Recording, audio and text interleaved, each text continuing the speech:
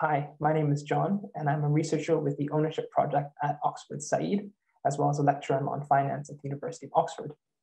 I've been a member of the Ownership Project since 2017, where I've been working on questions of what kind of legal and institutional reform is required when thinking about shareholding, ownership, and corporate governance. I'm really motivated by the question of how can corporations better contribute to the good of our societies?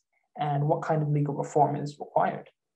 And in my own background, I transitioned from being a practicing corporate lawyer to an academic to be able to think about these larger systems wide issues, such as what is the role of corporate purpose? What kind of legal reform is required to keep corporations accountable?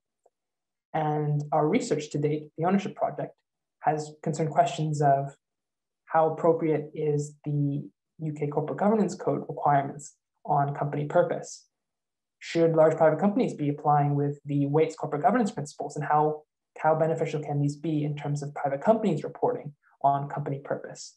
So I encourage you to take a look at this paper in the post. And if you're interested in the ownership project, please subscribe to our newsletter to stay in the know.